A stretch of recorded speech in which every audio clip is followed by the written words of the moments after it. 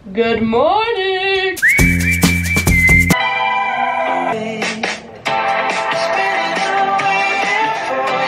Good morning everyone. I thought my funk was over, but maybe it's only just beginning because I am once again in a bad mood. I just can't, can't escape it. I look really fucking ugly. You know, what's new? Nothing. I always look bad. I just... You know them days where you feel ugly and I feel like just an overwhelming like sense of feeling let down, but I don't know why. I do know why, I'm just not gonna go into it. You don't wanna know. I just feel a bit shit. Again, heat isn't helping. I hate this fucking heat. It's currently 30 degrees. Nah, nah that shouldn't be allowed. Right, I'm gonna go, I'm gonna go buy a book. I think that'll make me feel better. I'm gonna buy a book. I'm gonna, I don't know. I, I'm having one of them days where I'm just like, everything's just pissing me off. Good evening. I'm dressed like it's winter because I want it to be winter. I really want a McDonald's, but I really can't be asked to go get one. Basically, I I went out yesterday, I went shopping because I went shopping the other day to go and get a new to go and get a new book and some flowers. Then my card got declined. So I went yesterday bought the book fine. Bought the flowers because i thought you know fuck it self-care and all that. Um bought them. I thought this surely can't make me feel worse then i fucking pricked my finger on one of the spikes, on one of the thorns. I thought, yeah, fuck it, of course I did. And then just everyone and everything was just pissing me off. This woman was walking in front of me, stopped like dead in her tracks to light a cigarette. You know what? Do what you want, I don't care. One sip of vodka, I'm like Dot Cotton in the square, do you know what I mean? I will be having a cigarette. I can't help that I have long legs and I do blend in with the giraffes at the zoo. That's not my fault. Just walk a bit fucking quicker. And then I left I left the shops, some fucking cunt beeped me in his, can't even remember what I saw of a car it was. And then he was just living up my arse. Fucking, I'm telling you, he could have been paying rent. He was so far up there, inhabiting in my arse. And then my steering went at a roundabout and I thought, typical. Got home, it was like 34 degree heat. I thought, nah, nah. And then, you know, had a nice dinner, started sorting out some vintage parcels. Um, and then, I literally don't even know how to say it. And then my nan died. What? Way to kick a woman when she's down. What the fuck? Um, so yeah, I swear to God, whoever's up there making decisions, there must be like a big red button that says hit push Maisie over the edge and someone's just fucking sat on it. Feeling all right? No, you're not. Feel like you might have a little bit of hope for your future? No, you don't. yeah. And then I woke up and my flowers were dead and I thought, you know what? Just let me go. Just let me go. I'm gonna go get a wrap of the day but the mcdonald's i go to is like in the town centre and it's always so fucking busy on a saturday everyone takes their fucking crotch goblins out with them on a saturday. I actually think running over a pedestrian would make me feel better no, what would make me feel better is if I just stopped breathing. And then, and then, you know, I was, let's just put it how it is, crying my eyes out, but I had to go post a Vinted parcel. So I'm, you know, my nan's just died, but that doesn't stop Vinted from reminding me I need to send my parcel. I'm walking to the postage point, crying my eyes out, listening to Landslide by Fleetwood Mac, and then on shuffle, sicko mode comes on, and I genuinely thought, you cannot make this shit up. Y you just can't. What? Fuck off. I actually, oh, I am fucking, I've got a knack for choosing the wrong lane to go in at McDonald's. I have a talent for choosing the wrong fucking lane at McDonald's. I swear, both lanes had one car in front, and now three cars have got through on the other side, and the person in front of me has ordered enough for the fucking 5,000. Looks like Jesus is driving that Honda Jazz. What the fuck? Anyway, you fucking stay there.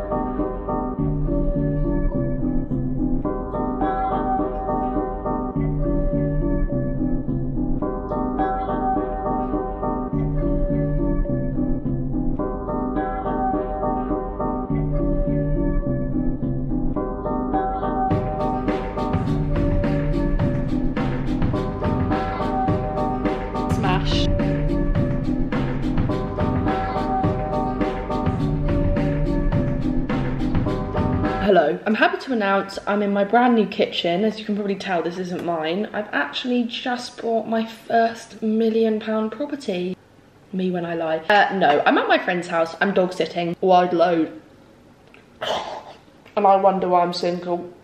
I know it looks like I could be in Selling Sunset, whatever the fuck that is, but I'm not. I'm looking after my friend's dog, Finnegan. I'm looking after Finnegan, um, named famously after Finn from Glee. No, she's not okay. Anyway, what I was gonna say was the trip here, mm, I would go as far to say it felt like I was driving through the gates of hell. It was the trip from hell. And here's the thing, right? I, there was so much echo in this room. I'm not the most confident driver, mainly because I'm not a good driver. Um, you know, the only driver I like has Adam in front of it. Adam driver. I don't like driving that much. You know, the novelty wears off after a while. You pass your test, you want to drive everywhere, and now if I even think about getting in my car just to pop up to the shops, you know, I could shit myself and then physically throw up. Do you know what I mean? It's just the novelty wears off after a while. So I was just a bit like, you know, I drive because I'm very lucky to be able to drive. I'm not taken away from that. Please don't spin it into one of these things. I doubt you will. The rats are undefeated. You know when fucking anyone says anything on TikTok like, oh, does anyone else hate driving? And then you get some fucking wanker in the comments that's like, well, funnily enough, um, I literally can't drive because I literally am so scared of it. And like, when? Who, what, why, when, how? Who asked? When did they ask? What did they ask? Who, what, when, where? Where did they ask? And how did you even perceive that anyone was asking? Mm, no one asked. So I'm not trying to say that I'm ungrateful for being for knowing how to drive. I fucking put myself through the ringer. When I learned to drive, I was in the trenches. I hated learning to drive. I'm such a nervous driver, you know, story time, you know, story time. Once upon a time, I was born, theatre card, Ah, theatre card. She should not have been allowed to be born. Then 17 years later, I turned 17 and I learned to drive and I wanted to fucking kill myself the entire time. I hated it so much. I was such a nervous driver. It took me three times to pass my theory and three times to pass my practical. Literally every time I sat in the driver's seat, I thought, oh my god, is Gardener's World now in my pants because I've soiled myself. Where was I? Basically, I was driving here and I've driven here a few times before, so I know my way. So I have Waze on anyway because, you know. So I'm going down this road. Waze is telling me to get off at the junction before the junction I normally get off on. Did that even make any sense? I thought, oh, sus. But maybe it's just taking me through a different village, maybe it's quicker. Or maybe it's taking me down the road that I've been down before that I literally started crying when I was driving down because it is just, oh, it is brutal. It is just, oh my god. It's like Waze is directing me through Satan's vulva. It is just absolutely abysmal. I hate it. It's a very, very narrow, very narrow, that's an under, oh, that's, that's a, Oh, oh, what? That's an understatement. It's so thin and it's fucking national speed limit. National speed limit. National speed limit if you've got a fucking death wish, which I do, but that's not how I want to go national speed limit. I get off and I think, okay, maybe it's gonna take me through a different town. No, you're fucking wrong. you're wrong. So I I see the road and I think, you fucking pillock, what the bloody fuck is this about? So I'm going down this road and to start off with, it's like a dual dual road. You know, it's like it's like two cars can go down it, but fucking hardly. And you know, my Fiat 500, she's a bit of a beast. Wide load.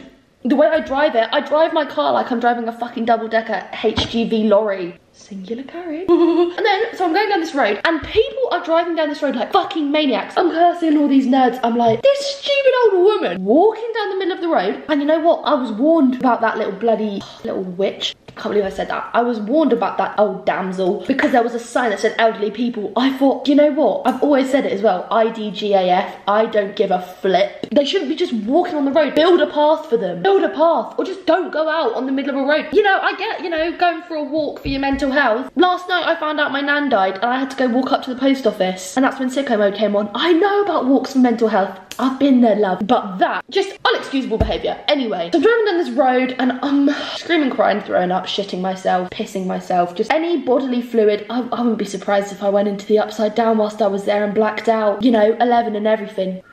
Anyway, just people driving so recklessly because obviously they live around here, they know the road. But I'm also thinking, in your 4x4, maybe you should take it a little bit slower. You look like a family man. You know, do you want to go home to your kids tonight or not? Because while you're driving, suggest you're not. Are you on your way to get milk or something? You're driving awfully fast, madam. Anyway, so I'm driving down this road and then, oh my god, it's like they fucking sense that I'm there. It's um, cyclists and I'm thinking, don't give in to temptation, Maisie. Don't knock one of them off of their bikes for spite. But also, do it. You know, I'm not gonna say I would be justified in my actions, but I'm also not gonna say I wouldn't be doing a public service act. And then I'm going around a corner, and you know them blind corners, and it's like you've got all this fucking foliage over this sign that says, "Please, like, watch your speed now." Fuck off. So I'm going around this corner, and this and this fucking idiot decides to overtake on the corner. I thought, just just hold on a second, there, matey. Let me get my fucking Scrabble board out, and you can spell out the word wank for me, because that's exactly what you are. And let's see if it's a double word score, because I fucking bet it isn't. I bet it's not even legit in Scrabble. Wouldn't know. Don't play it very often, you fucking nerd. I was fuming. And then at this point, I'm thinking, please, someone get me a bag, because I'm about to vomit. I was literally, I was stressed out of my mind. I was thinking, this is, this is gonna end in tears. I thought I had no tears left to cry, but you know what? My tear duct said, bring the beat in. There's just no winning. So, I'm now driving down this road. I see some stupid woman walking on it, and I just think, ah, oh, you know what? Just plain and simply fuck off. Not the point. Well, it's exactly the point. Then, and then I thought, what are these absolute losers doing? Sitting having a picnic on like a little patch of grass on this, like the middle of this quite, it's not busy. It's not deserted, but I wouldn't say it's like, you know, congestion charge busy. It's just a bit like, you know, there's frequent visitors. It's right by like a, like a, a, like a national forest thing. It's like a, right by like a piece of greenery, like a hill that people, it's a fucking Surrey Hills, that's what it is, you know. It's, it's just, it's just fucking hell on earth. And I thought, why the fuck are they having a picnic? And then I drive further up and I see more and I think, nah, nah, DV. Virgin territory. No, I'm sorry. Obviously virgin territory. They're like fucking year sevens. Not virgin shaming. I just love the word virgin. What? And I see this guy with the brightest red, blue, green and white checked shirt on. It was one of the teachers. And I thought, mate, get yourself out of Superdry. You know, I never normally condone this, but go on Boohoo, man. It is just an eyesore. It's just, oh my god, it sent a shiver down my spine. Then there was just more DofE children. I thought, where the fuck are they spawning from? This was like Minecraft. You know when these, these things just spawn out of nowhere and you're there like, where the bloody fuck did you come from? That's how it felt. Uh, oh my god, I've actually got so cold thinking about it. Mm. Oh, more cyclists. They just barricade down the road in like threes. And I think, piss off. Why are you taking up so much of the road? It's just, first of all, in a world where you can be anything, don't be a cyclist. Also, be kind. Also, don't take up the whole road, you fucking wanker. I'm just thinking, this is it now. It's game over. I tap out, I'm done. And then I finally get off this road and I'm thinking, did I get off of it? It was like the longest 2.3 miles of my life. And people were just driving around like fucking baboons. They were driving like idiots. I thought, how the fuck are you that careless? Yes, okay, I've fallen asleep behind the wheel. It was a one-time thing. It was four in the morning. I was bloody exhausted. But that, uh, uh.